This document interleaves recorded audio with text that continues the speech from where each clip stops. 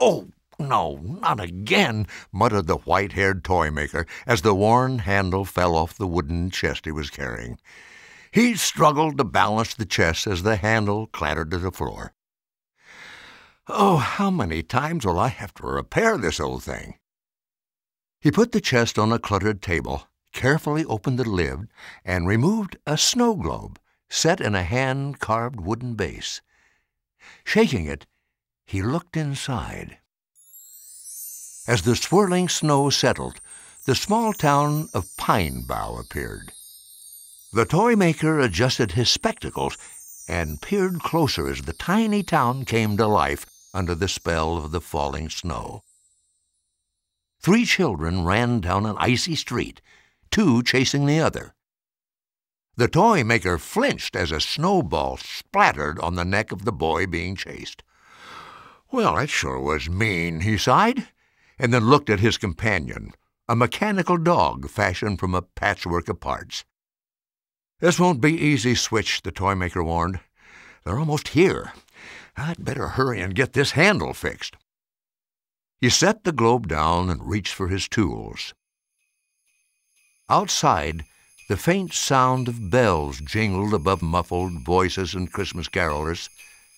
This was Christmas Eve, and a magical feeling filled the air. Most people might have explained it as holiday excitement, but some knew that it was more, much more. Exactly as the toy maker's globe had shown, three children raced through the town. Maggie hurled a hard, packed snowball, which splattered squarely on Jake's neck. Shivering, he darted down an alley. Maggie followed closely as Doug lumbered behind. Suddenly, Jake found his escape blocked by a wooden fence at the end of the alley. Where's our money? Maggie demanded. Jake gasped, I, I told you I don't have any. Maggie laughed. Well, poor boy, how can I keep Doug from beating you up then? Doug sneered and cracked his thick knuckles. But Jake quickly squeezed through a slit in the fence and bolted off before Doug could get his meaty hands on him. Maggie attempted to follow, but her bulky coat caught in the fence. Doug snickered as Maggie's face burned with anger. Oh, you laugh it up, Chubby, she said, and just wait till I get out. Doug scowled. If you're going to call me Chubby, then I won't be here when you do. Maggie responded, Okay, Tubby, get me out of here. With that last insult, Doug turned to leave Maggie in her predicament. But something caught his eye and he paused. Hey, Maggie, did you notice where we are? He pointed to a nearby building, just outside the haunted old Finnagan place. He looked her in the eye. They say that sometimes you can hear noises inside, but if you sneak in, nothing's there. Just then, a stack of boxes tipped over nearby, and a cat shot out from behind. Growing afraid, Maggie struggled to free herself. Eyes wide, Doug glanced once more at Maggie and took off running. He shouted back, Maybe you'll think twice before calling me Tubby. As his footsteps faded in the distance, Maggie began to shiver, but not from the cold. She wriggled again and then froze in fear as the door to the building creaked open. Out rolled Switch. Maggie's heart thumped faster as the feisty assembly of mechanical parts scrambled toward her, his wheels squealing loudly. He yapped with a metallic bark that sounded like it came from inside an empty can. He looked and sounded so funny that Maggie couldn't decide whether to scream or, or to laugh. Then a white haired man appeared from behind the door. Switch, knock that off. You'll scare that little troublemaker before I do. Leaning on the open door, he looked suspiciously over his spectacles at Maggie and added, Dogs are a great judge of character, you know. Maggie gulped. Are, are you a, a ghost? A ghost, the man chuckled. Sure, the ghost of Christmas past. Boo! he laughed again. Actually, I'm a toy maker, and I secretly use this place every year to help Santa prepare for Christmas. I don't believe in Santa Claus, Maggie interrupted. Oh, oh, you'll believe I'm a ghost, but you won't believe in Santa. Now that's funny. The man grinned, but Maggie grew impatient. Stop talking and just get me out of here. The toy maker didn't seem to be in a hurry to help Maggie. Maybe I'll just leave you stuck in that fence to think about your manners. Then, with a twinkle in his eye, he continued, Better yet, I'll help you out if you promise to help me in return. Maggie reluctantly agreed. Without moving from the doorway, the man asked, Have you considered just slipping out of your jacket? Maggie easily slid out of her coat, wondering why didn't I think of that? As she stepped forward, Switch growled. Switch, she said. That's a silly name for a whatever that thing is. The man smiled. I made him to remind me of Pete, little dog I once had. I put Switch together from some of the spare parts I keep around here. He was just a funny little toy until I flipped this switch on his stomach, and, well, he sort of came to life. So, there you have it. Switch. Maggie shrugged. So, what do you need me to do, anyway? The toymaker replied mysteriously. Let me get something for you from the shop. Maggie considered running off, but her curiosity overcame her, and she tried to peek inside. Have a look, the man called over his shoulder. Maggie sneered, but I might see what Santa's bringing me. Don't worry. There's no coal in here, he chuckled. Maggie slowly approached the doorway. As she entered the shop, a magical, wondrous world appeared. Maggie stared as if in a dream. Handcrafted toys, delicious looking candy, and every sort of Christmas novelty filled the room from floor to ceiling. Shelves laden with mysterious trinkets sagged under the weight of their loads knickknacks and furnishings of all sizes, from the tiniest candy cane to a large quilt embroidered with the Christmas tree, cheerfully adorned the packed shop. More wonderful yet, many of the toys and decorations were moving, not with the typical toy-like actions Maggie was used to, but as if they were alive. In this enchanted place, which seemed to embody all of Christmas in a single room, Switch seemed almost normal. The man grinned proudly as Maggie stood just inside the doorway, still gazing in awe. My name is Mr. Finnagan, and as you can see, I make toys. He smiled warmly.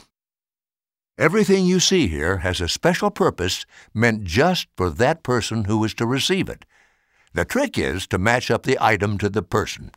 And that young lady is done through the magic of Christmas. There's nothing magic about Christmas. If there was, why didn't I get what I wanted last year? I was good, really good, and all Santa brought me was toys. Mr. Finnagan replied, Do you think Santa's the only one who can give us the gifts we want?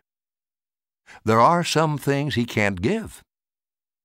Santa's presents simply remind us of a much greater gift a gift inside ourselves. Mr. Finnagan lifted the fragile wooden chest by its recently repaired handle and placed it in a wagon. What's that old thing? Maggie asked sourly. This old thing is the giving chest. It once carried precious gifts to a newborn king. I need you to deliver it to someone. Maggie Brighton, is, is there a treasure inside? Mr. Finnagan raised a brow. For some people, indeed there is. As he turned to write down the delivery address, Maggie quickly peeked inside the chest. It was empty. She looked around the shop. Don't you have anything better for me to deliver? Nothing better, Mr. Finnagan replied. Because of its noble heritage, this chest can magically deliver gifts for people in need. Here's the address. Now hurry before it's too late. So, if it's magic, can I get a gift from it? Maggie tried to look innocent. Mr. Finnagan chuckled. No, but I can get a gift for you. He went on, You don't use the giving chest to get gifts for yourself. you use it to help others. Lifting the lid, he gazed inside. Well, would you look at that? What is it? cried Maggie. You tell me, Mr. Finnagan replied, opening the chest wider to reveal a beautiful gold chained pendant with a heart shaped diamond. He gestured for Maggie to pick it up.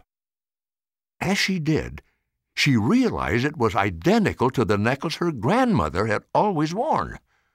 She remembered her grandmother's dying wish that her pendant be used to help someone in need. But even though the pendant was very valuable, Maggie's father had wanted it buried with her grandmother, and so it was. Maggie glared. This was my grandmother's. How did you get it? I didn't, Mr. Finnagan explained. You saw for yourself. It came from the chest. I imagine she wants you to have it. My grandma's gone. She died last Christmas, Maggie argued. Are you saying a ghost gave me this? No, not a ghost, he replied more like an angel. And she isn't gone, just gone on ahead. Maggie's eyes narrowed. You're playing tricks on me. How come you know so much anyway? Mr. Finnagan smiled. You don't get to my stage in life without knowing something about death, Maggie. I never told you my name. Maggie's eyes filled with angry tears. I, I don't believe in angels. I, I hate Christmas and I hate you. She spun around, turning her back on the old man. Our deal's off. I, I don't believe in any of this. Mr. Finnagan followed as she stomped out the front door. Just because you don't believe in something doesn't mean it's not real, he whispered. Then, leaving the wagon and chest outside, he disappeared back into his shop. Maggie looked back. Did that chest really have magical powers, or did Mr. Finnagan just slip the pendant inside without her seeing? Was this really her grandmother's pendant? And if so, how did that old man get it? Maggie knew that to find the answer to those questions, she needed to make the delivery. Sighing, she put the pendant in her pocket and went back to get the wagon. On Maggie's way to the address, she saw a woman shivering on a step. Just for an instant, Maggie's eyes met hers. Then Maggie lowered her gaze. But the image of the woman's deep blue eyes still burned in her mind. They looked familiar somehow. As Maggie passed, the woman asked if she had any money to spare. No, Maggie responded. The woman looked at the chest. Oh, but I'm so cold. I don't have anything for you, Maggie rudely replied, opening the chest to prove it. But to Maggie's surprise, inside lay the Christmas tree quilt she had seen earlier in the shop. In shock, Maggie handed the soft quilt to the woman. She wrapped it around herself and smiled pleasantly at Maggie. You're an angel. It can't be hard to give away something special to someone who needs it more than you do. Thank you, my dear. Maggie smiled slightly as she walked away. She remembered her grandmother's blue eyes and turned for another look. But the woman was gone. Now more curious than ever, Maggie decided to test the chess on others along her way. She gave a football to a boy, a violin to a young woman, and a cane to a man with a limp. Each time Maggie opened the chest, she found a new gift, something she had seen in the toy shop. And as she gave, Maggie grew increasingly excited and happy. Something was still missing, though. This was almost too easy. Still, Maggie felt happier than she had in a long, long time. Then Maggie saw a couple pleading with a police officer. How can you do this to us? the man asked. My wife will have her baby any day now. The officer sighed. I'm sorry, but I'm just doing my job. Since your landlord died, his nephew says you can't stay here. He is the next of kin. I have to do what he says. Maggie hoped she could help, But she knew these people needed more than just a toy or a trinket. In the chest, she saw a large brown envelope. She handed it to the woman, who gave her a puzzled look. Maggie shrugged. The woman opened the envelope, revealing the deed to the house and the landlord's will, which the nephew said had been lost. The landlord had left the house to the couple in gratitude for their many years of caring for him. Maggie blushed as the woman tearfully thanked her, and then she continued happily down the street. It's just like Mr. Finnagan said, Maggie thought. This chest really does give just what people need. And with that, Maggie remembered her own gift from the chest. Excitedly, she pulled the pendant from her pocket and looked at it again. As she put it around her neck, Maggie felt warmth flow throughout her body. She smiled, knowing that her grandmother was still looking after her somehow. This pendant really was the best gift Maggie could have hoped for after all. She decided right then that she never wanted to lose this feeling. Back in the shop, Mr. Finnagan said to Switch, well, Let's see how our girl's doing. He shook the snow globe again, and as the snow settled, he saw Maggie reach the appointed address. Ha! I knew we could count on her, he said. Indeed, as the globe had shown, Maggie cheerfully arrived in front of a tall doorway. She paused, thinking, if I deliver the chest now, I'll only give to one more person. But I can help more people if I bring it back later. Nobody'll know the difference. Deep down, Maggie knew her decision was more selfish than she was admitting. But she didn't want to lose the good feeling she had felt all afternoon. Mr. Finnagan would understand, wouldn't he? She turned away from the large gray building. Suddenly she heard a familiar voice. It was Doug. Escape from the fence, huh? What's that in the wagon? Maggie was surprised to find that, in spite of how mean Doug could be sometimes, she really wanted to share with him everything he had missed, especially the magic giving chest. As she boasted of the day's events, Maggie couldn't hide her excitement. She explained how the chest knew just the right gift to give when opened. To Maggie's surprise, Doug didn't believe a word. Taunting, he snatched the chest from the wagon. Give it back, Maggie shrieked, grabbing at the other end. They tugged and fought until finally the fragile chest cracked and burst into pieces. Maggie stared in disbelief. She clenched her fist to give Doug the thrashing he deserved, but instead of anger, a wave of sadness overcame her as she looked at the shattered chest. Choking back tears, she said, Just, just get out of here, Doug. Doug laughed nervously. Okay, he said, you can keep your stupid box. As Doug disappeared around the corner, Maggie loaded the splintered wood into the wagon. Never before had she felt so sad. Her mind began to race. Why did Doug have to spoil everything? And why didn't he believe her? Why did that old woman make her open the chest in the first place? If not for her, Maggie would have taken it straight to the address. Why had Mr. Finnagan given the chest to her, anyway?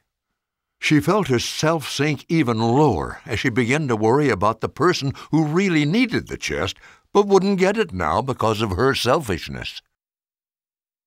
Maggie trudged back to the gray building, where a young boy answered her knock on the door. It was Jake. Seeing Maggie, he gasped, How did you find me? Maggie pulled the wagon closer as Jake backed up. Relax, I'm not here for you. I'm just delivering a chest. Jake skeptically eyed the broken pieces of wood. Maggie added, I didn't even know this was your house. Really? Jake asked. Maggie looked down. Really, and I'm sorry for being so mean. Want to come in? Jake said. So Maggie did. The house was warm and bright. Just then a woman entered the room. May I help you? Maggie explained what had happened and apologized for the broken chest. Ashamed, she tried to change the subject. Well, you, sure have a nice big house here, she blurted out. The woman smiled and said it was a home for orphans and homeless children. For the first time that evening, everything made sense. Now Maggie knew why Jake dressed the way he did, and why Mr. Finnagan wanted her to deliver the chest here. These children must have needed a special gift. But with the chest destroyed, Maggie had failed in her mission. Then Maggie had a thought. Her grandmother had wished her pendant could help someone. Maybe she could give it to the orphanage. But the pendant was the one thing Maggie would ever get from the broken chest. Her own grandmother had sent it to her. How could she give it away? Then Maggie remembered what the old woman had said. It can be hard to give away something special to someone who needs it more. She took a deep breath and handed the pendant to the woman. This is from my grandmother. Oh, the woman hesitated. Are you sure? This is a very expensive necklace. But Maggie insisted. She would have wanted, I mean, she wants you to have it. The woman smiled gratefully. You don't know how much this means to us. Your gift will help make this Christmas a special one for the children. Thank you. Maggie felt a new kind of joy. This was the first time she had offered something truly of herself, not from the chest. It felt different, better. Maggie realized she had received more from the giving chest than just the pendant, after all. She had even made a few friends along the way. Maggie smiled at Jake. At that moment, a little gray-haired dog ran into the room and looked up at Maggie, wagging his tail. The woman raised an eyebrow. Hmm, Pete here usually doesn't pay much attention to strangers. And with a twinkle in her eye, she added, Of course, dogs are a great judge of character. The woman became serious again. I forgot to ask who sent the chest. Maggie told her it was a gift from Mr. Finnagan. Mr. Finnagan? The woman looked at her intently and invited Maggie to follow her to a nearby portrait on the wall. This is a picture of my husband. Is this who sent you with the chest? It was Mr. Finnagan. Yeah, that's him, Maggie said. But if he's your husband, why didn't he just bring the chest himself? The woman pointed to an inscription on the frame. Maggie's eyes widened as she read it in memory of Nicholas Finnagan, whose service and generosity made the Finnagan Memorial Orphanage possible. Not gone, just gone on ahead. Forever our guardian. Jake spoke up. Maggie, you look like you just saw a ghost. Maggie thought for a moment and then smiled. Not a ghost. More like an angel. Maggie looked again at Mr. Finnagan's portrait and whispered, I- am so sorry for being selfish. I don't hate you, and I don't hate Christmas. Thanks for helping me understand. And though she wasn't sure, Maggie thought she saw Mr. Finnagan wink at her. She felt a wonderful warmth come over her, as if Mr. Finnagan himself were giving her a hug of approval. This is the best feeling of all, she thought. As the sun set on Pine Bough, the faint sound of jingling bells could be heard, and that magical feeling still filled the air. The feeling that was more than just holiday excitement. But now, a few more people knew why. Mr. Finnagan shook the snow globe once again. Gazing inside, he saw the beginning of a bright new day where two young friends were laughing and playing. He breathed a sigh of contentment and placed the snow globe back on the shelf.